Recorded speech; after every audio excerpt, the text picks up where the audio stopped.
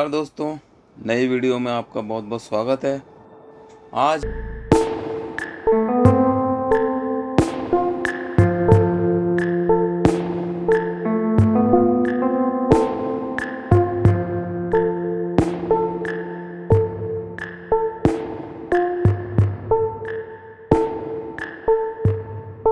वहाँ के पुजारी जी से बात की। आपका शुभ नाम बताओ पहले। सुनील कुमार शर्मा। हाँ कितना पुराना मंदिर है साहब? ये मंदिर है ये आठवीं शताब्दी का मंदिर है बारह सौ साल पुराना अच्छा बारह सौ साल पुराना ये कौन सी माता जी है? ये हरसिद्ध माता जी हर्षित ये बनवाया किसने था ऐसा कुछ? ये राजा चाँद के द्वारा बनाया गया है अच्छा ये चाँद बावड़ी बनी है उन्होंने बावड़ी और है। पर्पज यही था कि हर्षित माता मतलब खुशी रहे खुशी है ना? खुशी देने वाली हर कार्य को सिद्ध करने वाली।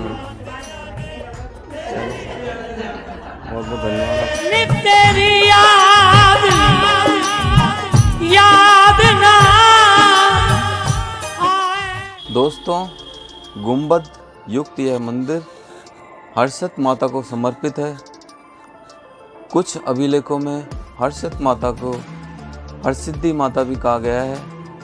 उन्हें हर्ष एवं उल्लास की देवी माना जाता है।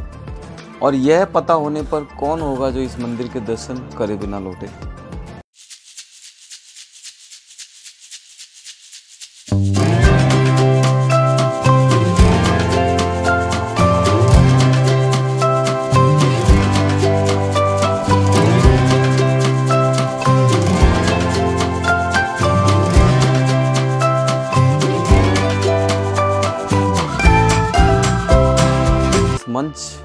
के चारों ओर परिक्रमा की। मेरी दृष्टि पाषाणी भित्तियों पर सूर्यमुखी पुष्पों की नक्काशी पर पड़ी।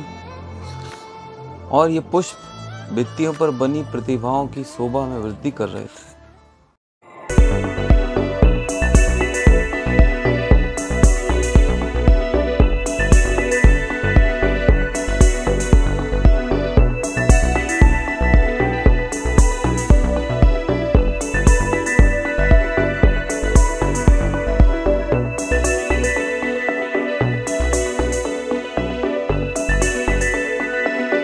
दोस्तों यह स्थल राजस्थान के यशस्वी एवं गौरवशाली अतीत का जीता जागता उदाहरण था।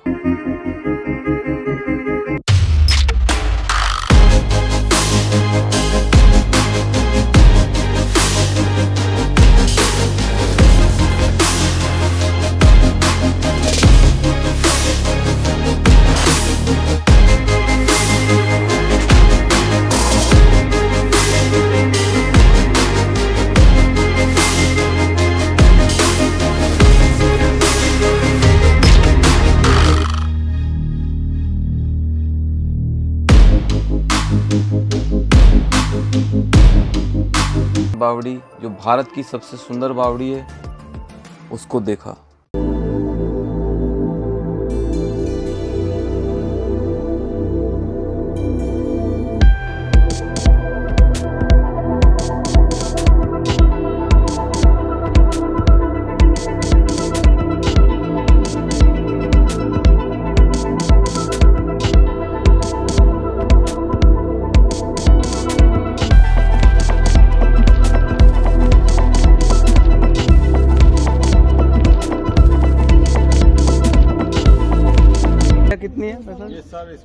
तेरह है अच्छा। और राजस्थानी नहीं अच्छा। पूरे हम्म, उत्तर भारत की सबसे बड़ी अच्छा। गहरी हम्म, और सबसे चौड़ी बावड़ी है। अच्छा अच्छा। जो कि चौहान वंशी थे राजा चंद्र हम्म, और चाँद। उन्होंने बनवाई इसलिए इसका नाम पड़ा चाँद बावड़ी। अब ये बावड़ी यहाँ क्यों बनाई गई? बावड़ी कहीं भी बनाई जा सकती थी। ये बावड़ी यहाँ इसलिए बनाई गई ये दो नदी के बीच में। अच्छा। पानी आता रहे। नदी कौन सी? एक तो बाणगंगा नदी और एक सावन नदी। तो दो नदी के बीच होने की वजह से नीचे से पानी आता रहे ऊपर का पानी बरसता रहे बिना पानी के बावड़ी देखी नहीं गई। जैसे जैसे बरसात आएगी वैसे वैसे पानी का बढ़कर एक लेवल दो लेवल और तीन लेवल पर आ जाएगा। तो पूर्व दक्षिण और ये पश्चिम का जैसा आप देख रहे हो आठवीं नवीं शताब्दी का। ये सोलह शताब्दी से अठारह शताब्दी के बीच।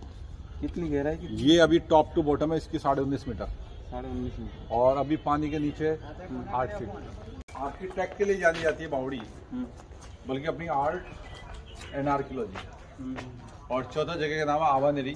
तो आवानेरी से मायने ये लगाया गया कि चांदनी रात में जब चाँद चमकेगा धमकेगा आबा देगा इस वजह से नाम पड़ा आबानेरी सिटी ऑफ़ ग्लोरी तो अब ये प्रोटेक्टेड मोन्यूमेंट है नेशनली उन्नीस सौ अट्ठावन से पहले। इसको काम में लिया जाता था। उन्नीस सौ अट्ठावन में गवर्नमेंट के पास आई इसको फिर बंद कर दिया। अब यहाँ फ़िल्मों की शूटिंग भी होती है। और तो परमिशन चाहिए। कौन कौन सी फ़िल्मों की? कई हिंदी फ़िल्मों की अगर बात करें तो भूलभुलैया का हमेशा पटेल का डांसिंग सॉन्ग फिल्माया गया था। अच्छा। इसके अलावा सलाम इश्क जिसमें गोविंद आर्य गाइड बन गया था एक फॉरन लेडी को गाइड करते हुए। एक फ़िल्म और बनी थी भूमि। अच्छा। सिंगल स्टार हाँ, मूवी अदिति राव हैदर के साथ। अगर आपने देखी है तो ज़रूर उसका लाइफ क्लाइमेक्स देखी, ज़रूर देखा होगा। और एक फ़िल्म बनी थी धड़क धड़क। धड़क का। की बेटी की फ़र्स्ट हाँ। डेब्यू फ़िल्म थी। अच्छा वो भी फ़िल्म है क्या? वो भी फ़िल्म बनाई गई थी। तो कई हिंदी फ़िल्मों के अलावा ये अंग्रेज़ी फ़िल्मों की भी शूटिंग हुई। इसके बाद ये मैग्नेट हो गई। और जितना हिंदुस्तानी नहीं आता उससे कहीं ज़्यादा विदेशी आता है। और आने का सबसे बड़ा कारण है इसकी जो लंबाई और इसकी चौड़ाई बराबर है। इतनी खूबसूरत बॉडी पूरे वर्ल्ड में। हालाँकि वर्ल्ड देखा नहीं है। पर आई एम श्योर क्योंकि हिंदुस्तान के अलावा कहीं बावड़ी है भी नहीं। तो जैसे जैसे हवाई चलेगी पानी के संपर्क आने लगती ठंडक रहती होगी, हवा के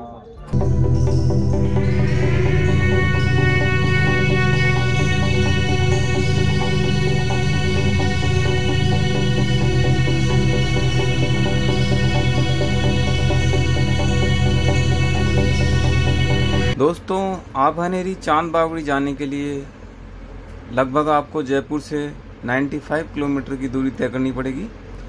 तो सबसे पहले हम जयपुर से बस्सी और उसके बाद बस्सी से दौसा दौसा से सिकंदरा। सिकंदरा से लेफ़्ट में हम टर्न लेंगे।